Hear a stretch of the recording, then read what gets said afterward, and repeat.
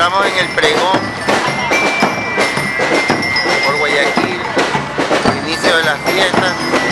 en compañía de algunos compañeros, compañeras, autoridades del plantel, compañeros directores de área de la unidad educativa Dolores Sucre y estudiantes que se encuentran en la parte de atrás.